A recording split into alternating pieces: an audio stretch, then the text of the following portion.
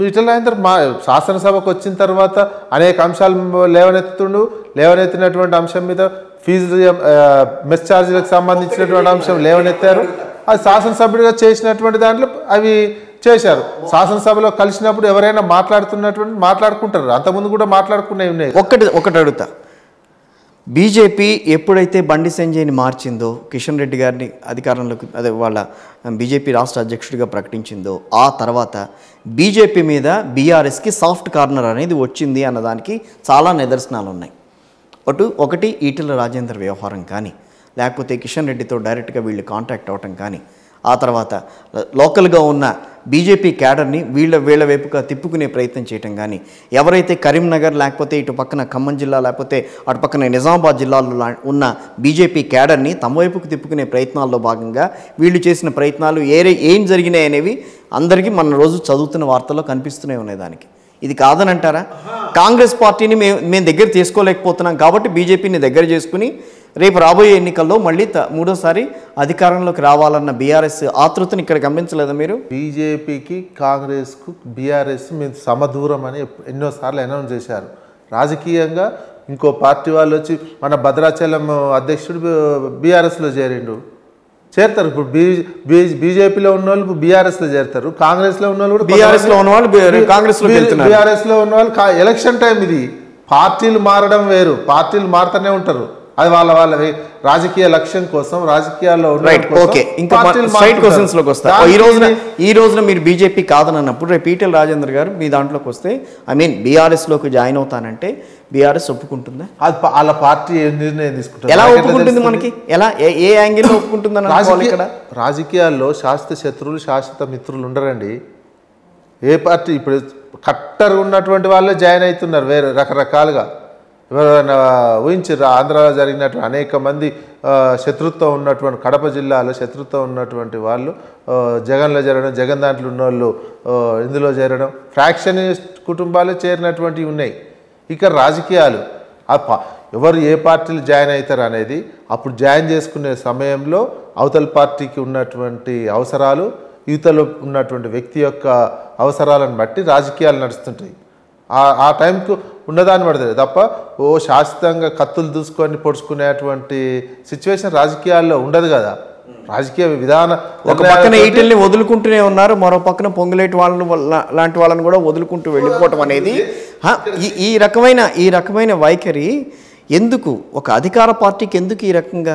ఉంటారు కదా. ఇప్పుడు రాజకీయ రాజకీయ పార్టీలు ఏంది? ఈ పొంగులేటి శ్రీనివాస్ రెడ్డికి సీటు కావాలి.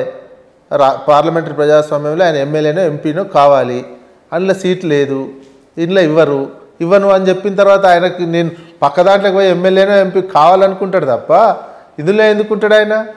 అట్నే జూపల్లికి ఇస్తారావుది ఇది రాజకీయం. రాజకీయాల్లో అధికారం ఎమ్మెల్యే ఎమ్మెల్యే పదవి కావాలని కోరుకున్నటువంటి వాళ్ళు కాయస్ ఉన్నటువంటి వాళ్ళు ఈ పార్టీలో ఉంటే ఎమ్మెల్యే టికెట్ రాదు అంటే రాకపోతే ఆ పార్టీకి విధేయుడుకుంటూనే ఉంటాడు.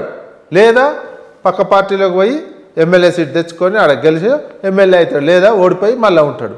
అంతే పార్లమెంటరీ ప్రజాస్వామ్య సిస్టమ్. తెలంగాణలో రేపు రాబోయే ఎన్నికల్లో బీఆర్ఎస్కి గతంలో ఉన్న సీట్ల కంటే ఎక్కువ వస్తాయా తక్కువ వస్తాయా? సీట్లు ఎన్ని వస్తాయో చెప్పలేనటువంటి సిచ్యువేషన్. అది ఉన్నటువంటి ప్రజల మూడు ఎట్లుంది? ఆ మూడు ఆ మూడు అనేది బీజేపీ నుంచి వచ్చిన ప్రభావమా లేకపోతే కాంగ్రెస్ పార్టీ నుంచి వచ్చిన ప్రభావమా బీఆర్ఎస్ సీట్లు తగ్గడానికి కారణం. తగ్గుతాయని నేను చెప్పలేదు పెరుగుతాయని నేను చెప్పలేదు. సీట్లు ఎన్ని వస్తాయో కూడా నేను చెప్పలేను యాంటీ ఇన్కంబెన్సీ కనిపించదా మరి ఆ రోజున? ప్రజల మూడు ఎట్లుందనేది చెప్పబోతున్నా. ప్రజల మూడు ఎట్లుందంటే ఈ తొమ్మిది సంవత్సరాల కాలంలో జీవి మన జీవితాల్లో మార్పు కనిపించింది. ఉన్నటువంటి వ్యవస్థను స్థిరీకరించుకోవాలి. కరెంట్ వస్తుంది ట్వంటీ ఫోర్ అవర్స్. అదేవిధంగా మంచినీళ్ళు వస్తున్నాయి. అదేవిధంగా పంటలు పండుతున్నాయి. గిట్టుబా పంటల ఎంఎస్పి పండిన పంట అంతా కొనడం జరుగుతుంది. ఇవన్నీ హైదరాబాద్ చుట్టుపక్కల ఉన్న ఐదు ఐదు జిల్లాలకు గురించే కాదు. దూరంగా ఉన్న చోటు జిల్లాల గురించి కూడా మనం మాట్లాడుకోవాలి. దూరంగా అన్నీ అండి. ట్వంటీ ఫోర్ అవర్స్ పవర్ అనేది మొత్తం వస్తుంది. ఆదిలాబాద్ లాంటి లాంటి జిల్లాల్లో ఇప్పటికీ గిరిజనులు చాలా చాలా కఠినమైన దుర్భరమైన జీవితాలు గడుపుతున్నారు. వాళ్ళు చాలా అడిగారు. అన్నీ జరుగుతున్న దుర్భరమైన జీవితాలు అనేది మన సమాజము నేను అనేది చెప్పిన కదా స్వర్గం కాదు తెలంగాణ అనేది ఏమంటే స్వర్గం అయిపోలేదు తొమ్మిదేళ్ళకే అప్ గతం కంటే ఒక భిన్నమైనటువంటి ఒక మార్పు దిశగా పునాదులు పడ్డాయి. ఈ మార్పు దిశగా పడినటువంటి పునాదులను స్థిరీకరించుకోవాలని ప్రజలు ఆలోచించుకుంటున్నారు. మనం ఒక స్థిరీకర వీటిని కనుక స్థిరీకరించుకుంటే లైఫ్కు డోకా ఉండదు అనే ఒక ఆలోచనతో ప్రజానీకం ఉన్నది తప్ప ఉన్న కంచంలో తింటున్నటువంటి కూడుని కింద పడేసుకోవాలని ఇప్పుడున్నటువంటి తెలంగాణ ప్రజలు అనుకోవటం లేదు. ఆ రకమైనటువంటి ప్రజల మూడున్న తప్ప మనం మొత్తం వెంబటే స్వర్గం అయిపోయింది. రోజు బిర్యానీలే తిని ఉంటున్నాయి మీరు అంత స్వర్గంగా నడిచింది అని అనుకుంటే స్వర్గంగా- లేదంటున్నా అంత స్వర్గం కాదు. ఈ పది సంవత్సరాలు ఇంత బాగా అభివృద్ధి జరిగిందని అనుకున్నప్పుడు మిగతా పార్టీల నుంచి వచ్చి బీఆర్ఎస్లో జాయిన్ అవ్వాలి కానీ కీలకంగా ఉన్న పదవుల్లో ఉన్నవాళ్ళు లేకపోతే ఒక కీలక నేతలు ఎవరైతే ఉన్నారో వాళ్ళు వచ్చి బీఆర్ఎస్లో జాయిన్ అవ్వాలే తప్పించి బీఆర్ఎస్ నుంచి వెళ్ళిపోయి మిగతా పార్టీలను ఎందుకు ఆశ్రయిస్తున్నారు ఎలక్షన్ ఒక ఎలక్షన్ సినారియోనే చూస్తున్నారు. అంతే. ఇక్కడ రాబోయే రోజుల్లో రాబోయే వీళ్ళు గత నాలుగున్నరేళ్ళుగా నాలుగున్నరేళ్ళుగా చేసిన అభివృద్ధిని ఏం చెప్పలేక ఏం చేయాలో తెలియక ఆ వేరే పార్టీలోకి వెళ్ళి వాళ్ళు టికెట్ అడగటం అనేది అది. అధికార పార్టీకి వచ్చిన దైన్య స్థితి అని అనుకోకూడదా ఇక్కడ? అధికార అధికార పార్టీలో నాకు సీటు రాలేదు. పోయింది. మళ్ళీ ప్రజలు ప్రజలు అనుకోవాలి కదా. రేపు ఎలక్షన్లకు పోతే గెలుస్తాడా గెలవడా అనేది తర్వాత విషయం. ప్రజలు ఏమనుకుంటారు అనేదే మనకు ముఖ్యం కదా. ప్రజలు ఏమనుకొని తీర్పులు ఇస్తారు అనేదే? పొంగులేటి కానీ లేకపోతే ఇంకొకళ్ళు కానీ వాళ్ళు ప్రజల్లో ఉండి ప్రజలతోనే నడిచి ప్రజలతోనే వాళ్ళ జీవితాన్ని గడిపిన వాళ్ళు వాళ్ళంతా కూడా.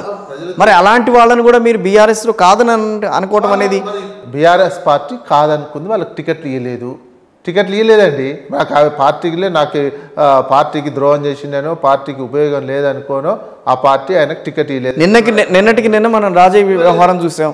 ఆయన కూడా టికెట్ రాలేదని రాలేదు. ఇలాంటి వాళ్ళు ఇవాళ ఇలాంటి వాళ్ళు ఒకళ్ళిద్దరికో ఆగ ఆగట్లేదు కదా. వచ్చి అవును. ఉన్న ప్రతి ఏ పార్టీలనైనా అసమ్మతి అనేది టికెట్ ఇచ్చిన తర్వాత గొడవలై వేరే పార్టీలకు పోతారు. ఉన్న ఇప్పుడు నూట పంతొమ్మిది నియోజకవర్గ నూట పదిహేను అనౌన్స్ చేశారు. ఒక పదిహేను చోట్ల ఇట్లాంటి గొడవలు ఉన్నాయి. ఉంటే వాళ్ళకి నచ్చలేదనుకోండి వెళ్ళిపోవాల్సిందే పార్టీ. వెళ్ళిపోయి వేరే పార్టీలు జాయిన్ అయి ఉండాలి. నచ్చితేనే ఉండి వాళ్ళ పార్టీ అభ్యర్థిని రేపు కాంగ్రెస్ పార్టీ అనౌన్స్ చేస్తుంది. ఒకేసారి యాభైయో ఫస్ట్ లిస్టు. అందులో నచ్చలేదనుకోండి కొందరు ఎట్లా అసమ్మతి ఉంటుంది. నచ్చితేనేమో వాళ్ళ పార్టీలు ఉంటారు. లేదా బయటకు వెళ్ళి ఇంకో పార్టీని గెలిపిస్తారు గెలిపించడానికి వస్తుంటారు.